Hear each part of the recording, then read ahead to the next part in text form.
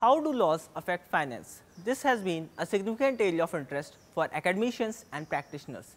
In my thesis, I aim to unravel the effect of an essential facet of law that is creditor rights on the flow of trade credit, institutional investments and willful defaults. My first essay contributes to a trade credit literature by examining the impact of a targeted intervention MSMED Act 2006 and a general intervention IBC 2016 in suppliers enforcement rights on the flow of trade credit.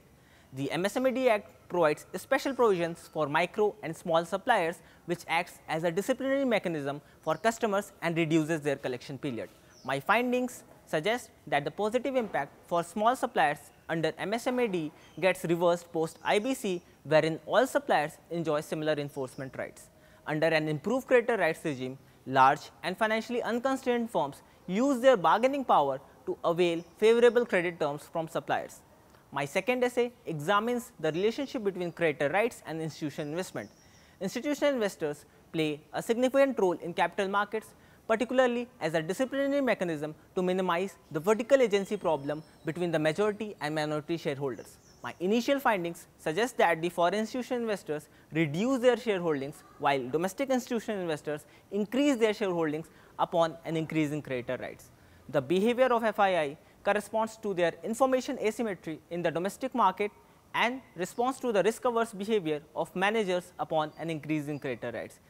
The increase in DII shareholdings reflects their information superiority and pressure sensitivity due to business relationships with the investee firms. My third essay examines the role of moral hazard and governance mechanisms at the firm level that affect its probability of becoming a willful defaulter.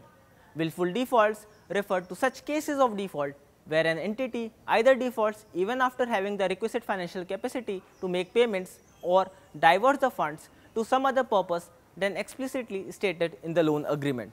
I argue that the nature of willful defaults is fundamentally different from other defaults that may arise from economic or industry downturns. Hence, it becomes essential to analyze the role of a firm's corporate governance mechanisms and regulatory deterrents such as bankruptcy laws in predicting willful defaults. Overall, my thesis provides an empirical investigation into the role of creditor rights on the behavior of firms, institutional investors and willful defaults.